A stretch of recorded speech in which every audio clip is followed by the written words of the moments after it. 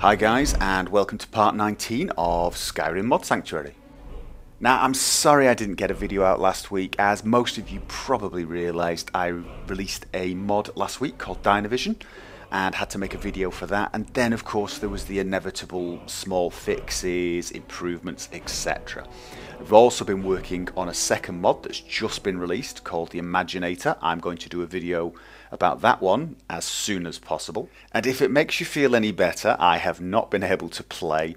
I've not played Skyrim, which is why I couldn't really do a video reviewing any mods.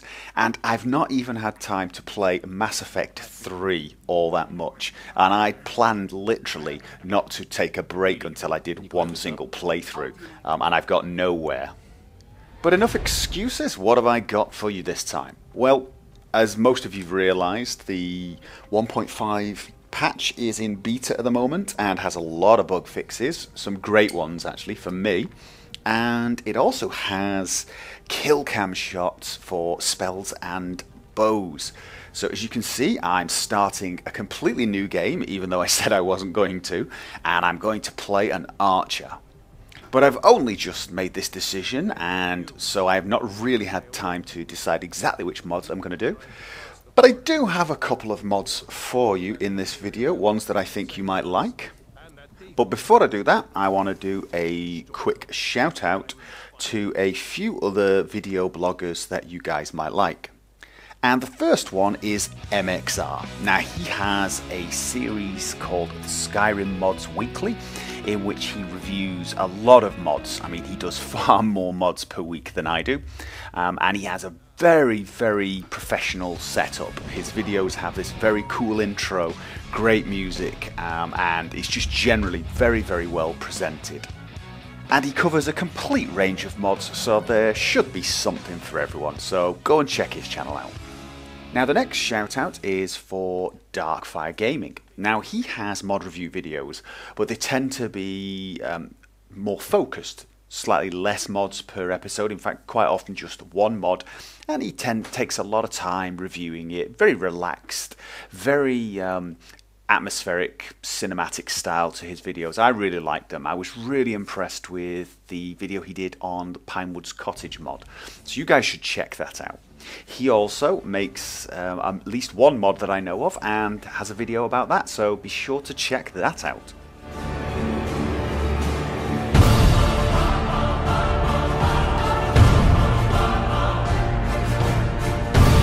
And the next shout out is for Arsenal Robert, so it's all the way to the other side of the world, Australia, I believe, judging by the accent. And he does videos that are quite similar to Darkfire Gaming. He focuses on one or two mods and really goes into some detail on them. He's also pretty good at staying very up to date. He covers mods literally sometimes hours after they get posted he actually already had a video out for the Imaginator mod, which I've not even managed to uh, get a video for, and I'm one of the authors of it. So he's, you know, he's bang up to date, uh, and you will you'll be able to spot some really good mods coming out if you follow his channel. And the last shout out is for Chayification. Now, this is a channel by Chay, or Lord Chay as he likes to call himself, and he is a great video maker. He makes a variety of videos for a variety of games, but those include Skyrim mods. And he is really funny and very entertaining. Check out the Skyrim mod video he did about Thor's hammer. It's absolutely brilliant. There it is! Oh, look at it in all of its bloody glory. Yeah, so let's go and hit some people, shall we? Let's go and find some lowly citizens to bonk on the head. Off we go. You know, there are a couple of people in Skyrim, especially Whiterun, that really tick me off. One of them being Belethor, I'm going to go and nail in a minute. That came out wrong. Belethor, I'm going to go and um, hit with a large hammer in a minute. And this guy. So, be sure to check out his channel. It is very entertaining. Um, and again, check out all of these channels. They are very informative and there should be something for everyone in one of those. Okay, that's enough about other people's videos. Let's get on with mine. And the first mod I'm going to show you in this video is the Cloaks of Skyrim mod. Now, not surprisingly, it adds cloaks, or capes. I think technically they're capes. I don't know. There's some definition for this. They don't have hoods. Even though this character has a hood, that's part of the outfit. Um, but the cloaks, as you can see, they are fully Havok meshed. They move when you move. Um, they look very cool. They're a little rough around the edges. They look like they've seen a bit of wear and tear. And they come in a variety of colours, so you should be able to find something that matches uh, your look. You will notice that they do clip on the shoulders of certain armour a little bit. Not much, and it's not that noticeable, but it is there. But as you can see, it generally makes the, uh, the character just look a little bit more imposing, a little bit more impressive. Now, the female versions are a little smoother. They're very smooth around the edges, and so that's a, a, slightly different look. And one of the things that I am a little disappointed with is that you can't have the smooth ones as males and the rough ones as females. That's one of the things I would like to see in a future update. So, you know, some of my characters might want a, a smooth cape. I don't know. It's, it's my only quibble, I think. Now these items are craftable, so you can get them very early on, and they just use linen wraps as the ingredients, so you should be able to get them pretty much at the start of the game. And that's about it really, it's a very simple mod, um, it's very easy to install so I'm not going to bother showing you that, and it's really worth it. it, it adds very unique look to, to your character and there's no downside to it. So, you know, it doesn't take the slot of anything else, so it doesn't stop you from wearing whichever magic armor you want. So, why not? April 23rd, 57, Cape caught in a jet turbine. You, you can't generalize about this. Metaman, express elevator, Dynaguy, snag on takeoff, splashdown, sucked into a vortex. No kicks! Luckily for us, Skyrim does not actually let it snag on anything. Now, those of you who've watched a few of my videos probably already know I'm a big fan of the realistic lighting mod, and I always use that and often use it in conjunction with Skyrim enhanced shaders. But there is a, another mod that does something similar, and that mod is called Realistic Colors Realistic Nights. So I've decided to give that one a try and see how I like it. Now the first thing that hit me when looking at the comparisons between vanilla and RCRN was that the the kind of color scheme they've used seems to match the game's developers' intentions. It still doesn't look too stylized, but it does look more realistic and quite a lot nicer. So the next thing is how does it behave at night? Well, in the early evening, where the vanilla game is still quite bright, the RCRN gets darker a lot faster, uh, and it has a very nice feeling to the darkness. It's you've still got quite good visibility, but it definitely feels more nighttime. And by about 8 o'clock in the evening, the difference is literally night and day. The vanilla is still quite bright, and the RCRN is nicely dark. I mean, it really does give you that slightly creepy feeling.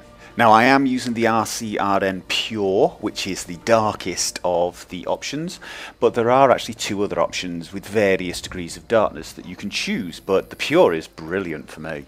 And indoors, obviously, there is a difference there too. The Vanilla's got all that ambient yes. light, whereas with RCRN, a lot less ambient light, so the light sources are much more important. Shadows are, far more pronounced, and you just get a, a genuinely more realistic feeling. And also when dungeon crawling. I mean, the vanilla dungeons are way too bright. Even without light sources, you can see perfectly. But with RCRN, bring a torch. Bring a magic light. Just bring something that's going to help you see.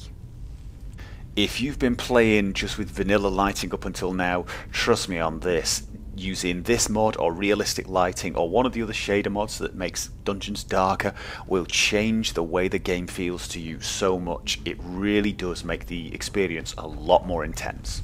Now the mod has several cool sounding features like HDR double pass, premium FXAA and hybrid shaders and I don't exactly know what all of those do. I'm very interested in the HDR if they've managed to improve that. I've seen glimpses of it and it does look nice.